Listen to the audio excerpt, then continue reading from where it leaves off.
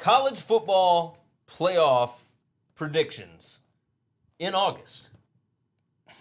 I mean, we do this every year, but Early it still August. seems kinda it's the first right? week of August, by the way, when this is being recorded. well, we are getting closer though, right? Because it's the first week of December that they do the the playoffs, right? Like they they make the selections.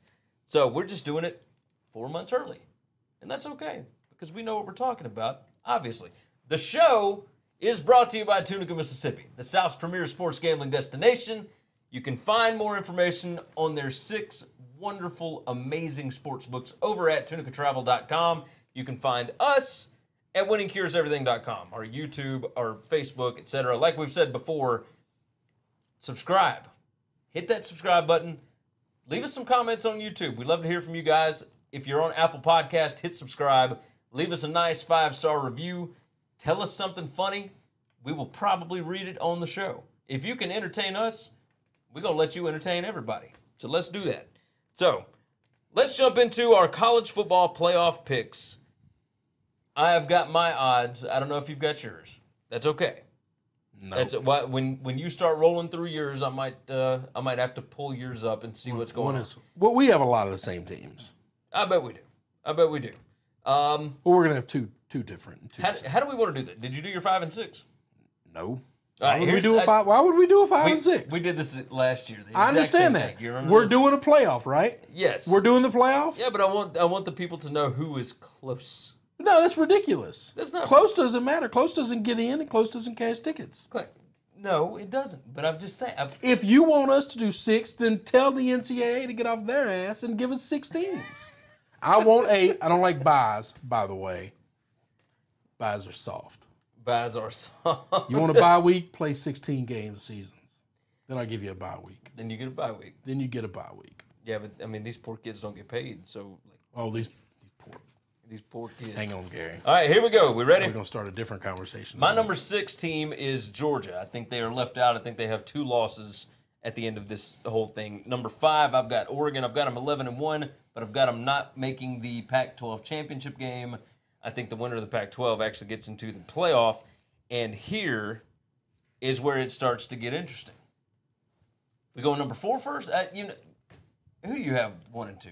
Well, one and two, I have. How about this? So number one, one and two are easy because you can look at our schedules, our regular season, and know what we've got. Okay. I got Michigan going undefeated. I got them number one. I got Clemson 11 and one because I don't like teams to go undefeated, but they're probably going to go undefeated, by the way. but you you got Clemson one. I've got no, I've got well, I've got Michigan one because they're going to be 13 and 0. I think Clemson will lose one game somewhere. Okay. Okay. and, and they probably won't, by the way. It, it's just I just don't like. I don't. I think it's rare for teams to go undefeated. So all right, We're not going to end up with three undefeated teams. I'll I assure on- you of that. I'll go on and give my Been watching the sport too long. I'll go on and give my predictions. I've got Alabama at minus 325 to make the playoff. Clemson is minus 500 to make the playoff. Those two, not good bets to make. Michigan plus 250 to make the playoff. You've got Michigan, right? I've got Michigan. And then my fourth, my I have seed. I have Utah at plus 950 to make the playoff this year. That's that's pretty incredible. That's a lot of money if it actually is. And I, I feel good about it. All right, so you've got Clemson and you I've got, Michigan. I've got Clemson and Michigan.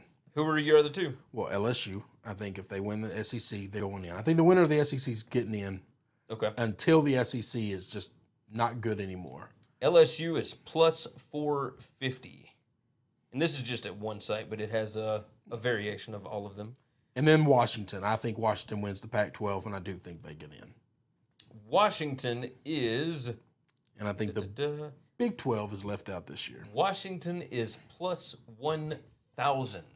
Wait a minute. Washington has worse odds than Utah?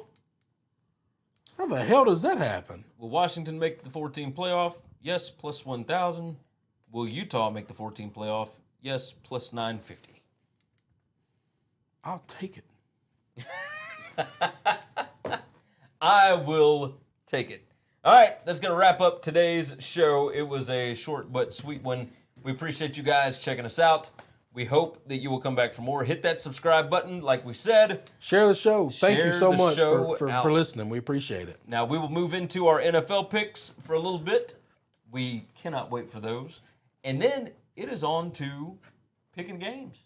Like actual legit real games. Season starting. Believe that. All right, we will see you guys very, very soon.